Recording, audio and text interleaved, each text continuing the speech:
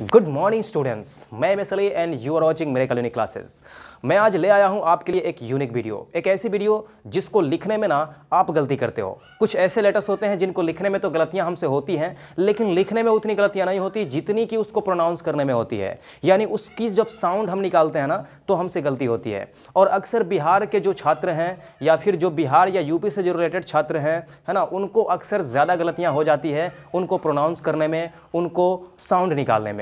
पर don't worry आज की इस वीडियो में मैं आपको कुछ ऐसे लेटर्स बताने वाला हूँ, जिनका सही प्रोनाउंसिएशन जिनका करेक्ट प्रोनाउंसिएशन मैं आपको सिखलाऊँगा और उसके साथ साथ उसको कैसे स्पेल आउट करना है करेक्टली ये भी मैं आपको बताऊँगा। लेकिन आपको एक चीज़ का ध्यान रखना होगा डॉट आपको डॉट का ध्यान रखना होगा। ये डॉट क्या है? आपको पता चल जाएगा, डोंट वरी। वैसे तो डॉट आप जानते हो कि बिंदु को कहते हैं, यानी बिंदु को डॉट कहते हैं। लेकिन डॉट कहाँ कहाँ, कब कब इस्तेमाल होता है, ये जानना बहुत ही इंपॉर्टेंट है, बहुत ही ज़रूरी है, क्योंकि हमारे अल्फ़ाबेट्स यानी हमारे जो हिंदी के अल्फ़ाबेट्स हैं, उनमें कुछ ऐसे लेटर्स हैं, जिनके बगल में या जिनके नीचे हमें डॉट्स देने पड़ते हैं, लेकिन most of the students most of the people उन डॉट्स को छोड़ देते हैं और वो ऐसे ही लिख डालते हैं। बहुत सारे राइटर्स भी इन चीज़ों को फॉलो नहीं करते हैं, पर आपको करना होगा ना, क्योंकि आपको पूर्ण बनना है। वैसे तो पूर्ण बनना असंभव है, लेकिन कोशिश तो की जाएगी कि थोड़ा बहुत हम पूर्ण हो सके। प्रोनाउंसिएशन हो, या फिर राइटिंग हो, या फिर स्पीकिंग हो रीडिंग हो, जो कुछ भी हो, आप कोशिश करोगे कुछ ना कुछ पूर्ण बनने को, यानी कुछ ना कुछ तरीके से परफेक्ट बनने को। और मैं आपका साथ दूँगा, मैं भी पूर्ण नहीं हूँ, इस दुनिया में कोई भी पूर्ण नहीं है, लेकिन थोड़ा बहुत उस लेवल तक हम पहुँच सकते हैं, अगर हम परिश्रम करें, अगर हम मेहनत करें तो।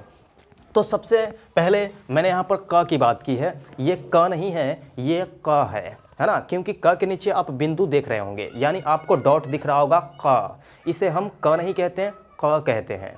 और जब आप उर्दू के अकॉर्डिंग चलोगे ना, उर्दू के अकॉर्डिंग तब ये सारी बातें आपको समझ में आएँगी। वैसे आपको ये बातें समझ में नहीं आने वाली है, लेकिन जितना हो सकता है मैं आपको क्लियर समझाने की कोशिश करता हूँ।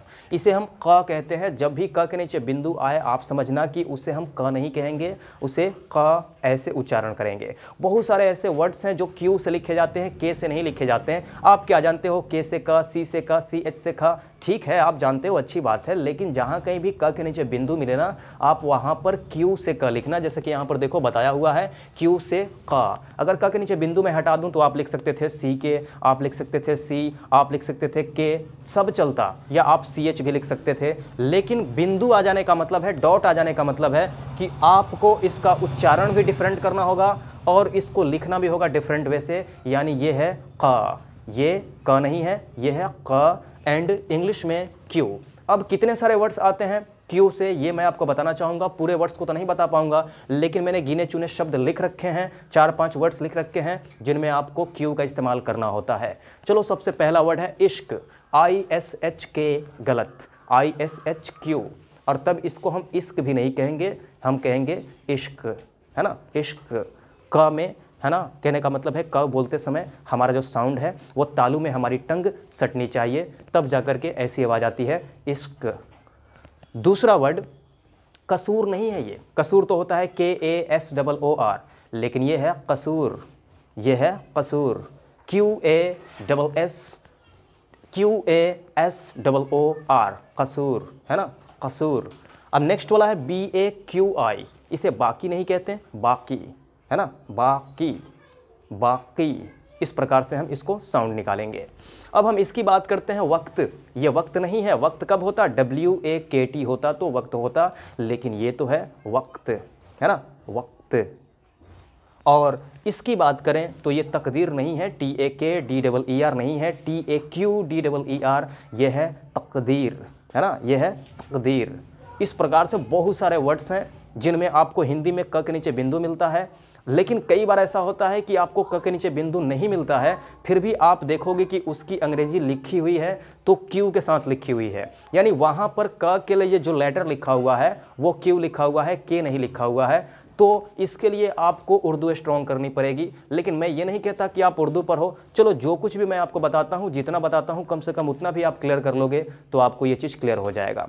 या फिर आप एम गाने जो सुना करते हैं, या जो डाउनलोड किया करते हैं, उसमें जो गाने के बोल होते हैं ना, उसको आप देखोगे लिखा हुआ ना ट्रांसलेट करके जो लिखा हुआ रहता है, और प्रत्येक वर्ड पर आपको ध्यान देना होगा कि किस वर्ड को कैसे लिखा हुआ है। मैंने भी वैसे ही ये चीज़ें सीखी है।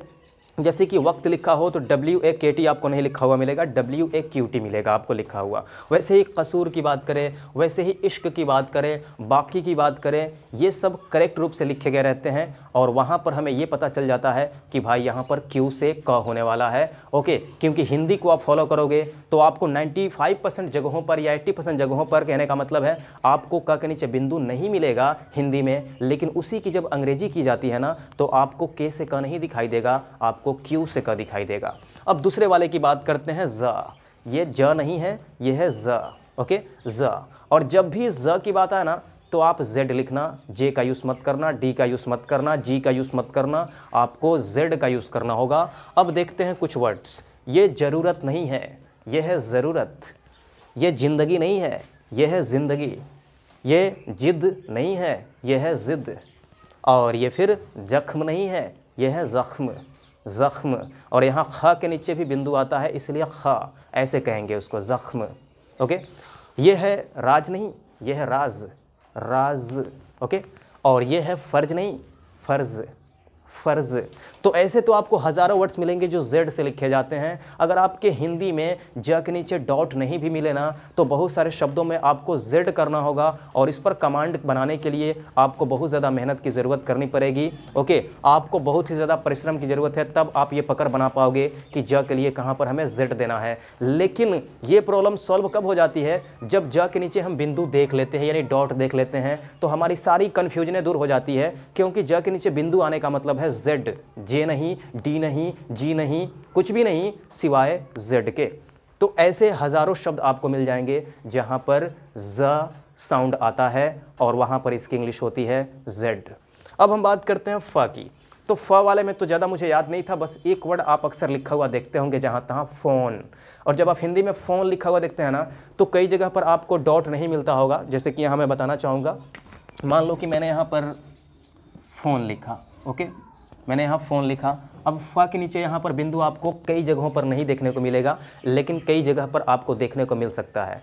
तो फ़ा है ना? वो फ़ होता है, और जब भी फ़ की बात करते हैं ना फ़ ये मतलब जो हमारा ये जो लिप्स है ना, उसमें हमारी कहने का मतलब है, उसमें कनेक्टिंग होनी चाहिए, यानी उसमें टचिंग होनी चाहिए, तब ऐसी आवाज़ निकलती है फ़ फ़ ऐसे करके आवाज़ आती है उसकी। यानी तो सिंपल तरीके का जो फ़ होता है है ना? वो होता है फ़ फ, उसमें ज़्यादा लिप की मतलब टचिंग नहीं होती है तो वो फ होता है और उसकी इंग्लिश होती है एफ़ लेकिन पी एच वाला जो फ होता है, उसको थोड़ा सा इस प्रकार से बोलते हैं फ, जैसे कि फ़ोन फ़ोन इसकी जो टचिंग हो रही है ना वो आपको ध्यान रखना है। तो इसमें ज़्यादा वर्ड्स मैंने आपको नहीं बताए हैं, क्योंकि मुझे खुद जानकारी नहीं है ज़्यादा वर्ड्स, लेकिन आपको कुछ और वर्ड्स मिल जाएँगे, जहाँ पर फ़ के नीचे आपको डॉट मिलेगा। आप समझना कि वहाँ पी एच से फ़ होने वाला है, एफ़ से फ़ नहीं होने वाला। अगर बिंदु नहीं मिले तो आप एफ़ से कर देना।